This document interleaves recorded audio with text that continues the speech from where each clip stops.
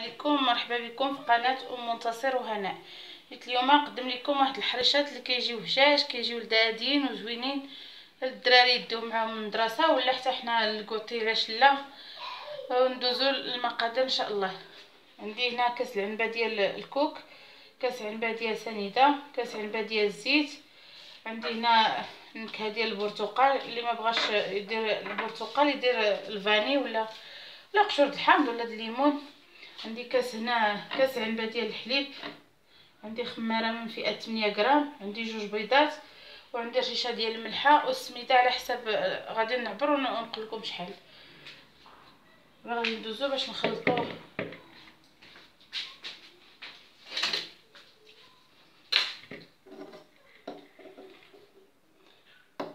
غادي نديرو البنات جوج ديال البيضات.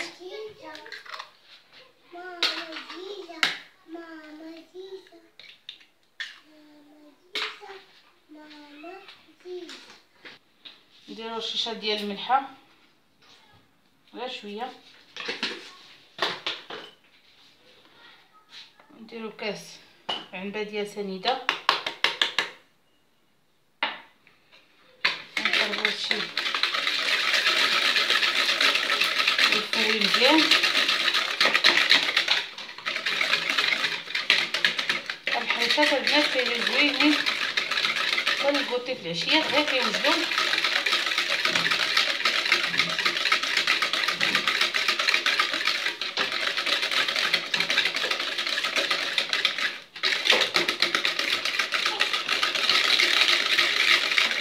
غير شوية تذوب سنيده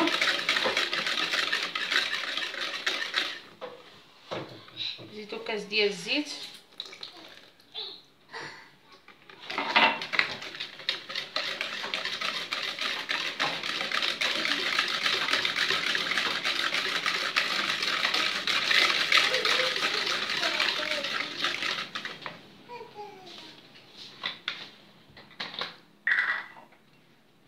هنا كاس ديال الحليب.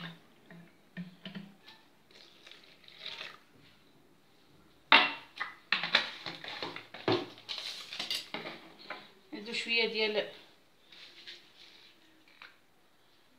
غير قطيرة. نكهه ديال البرتقال. إلا ما كانش هادي ديروا قشور الليمون ولا قشور الحامض.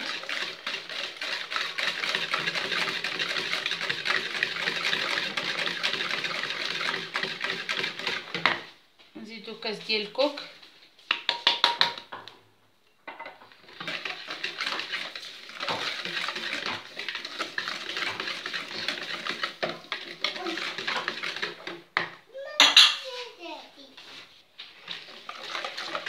بعد ما خلطنا جميع المقادير غادي نديرو السميده السميده البنات رقيقه أنا غادي نعبر قدامكم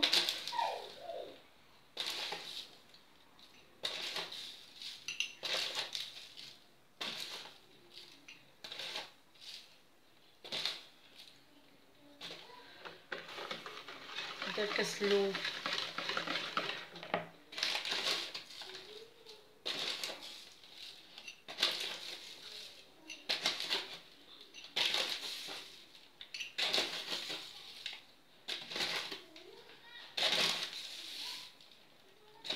أنا بغيت نعبر قدامكم البنات باش تشوفوا شحال درت هذا الثاني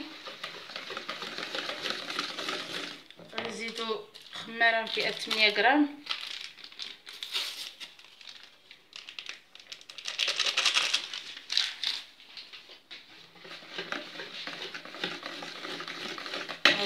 باقي خاصها السميده البنات.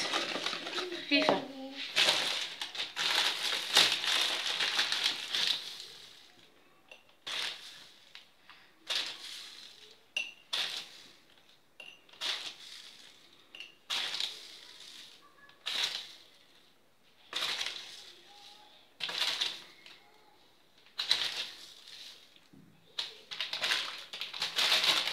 هذا الكاس الثالث نحركو نشوف البنات غير بالفويل.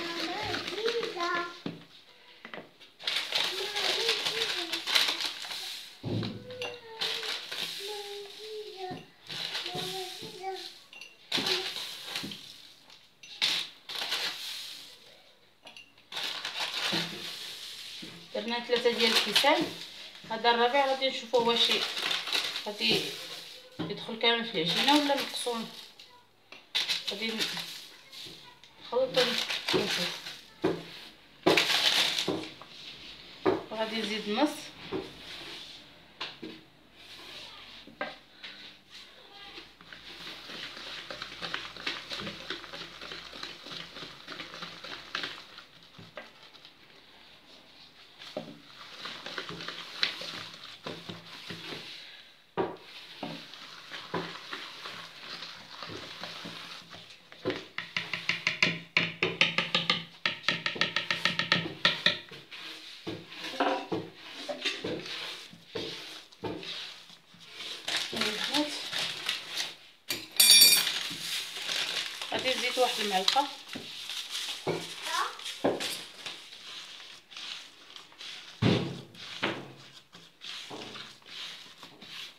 تعرفوش البنات غير هكذا بيديكم كنجمعوا العجينة دخلتنا هنا أربعة ديال الكيسان. المهم أنا عندي هنا نص كيلو.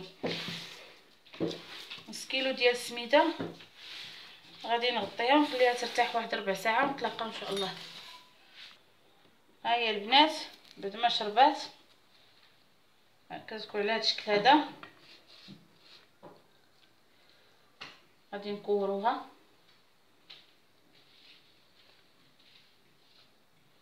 نفندوها في الكوك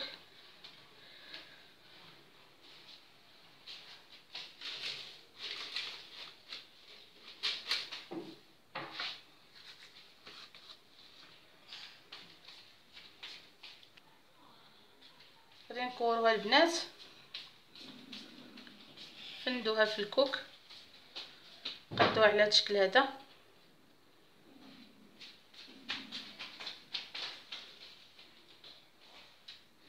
وغادي نستمروا على هذا الشكل هذا حتى نكملوا نتلاقاو.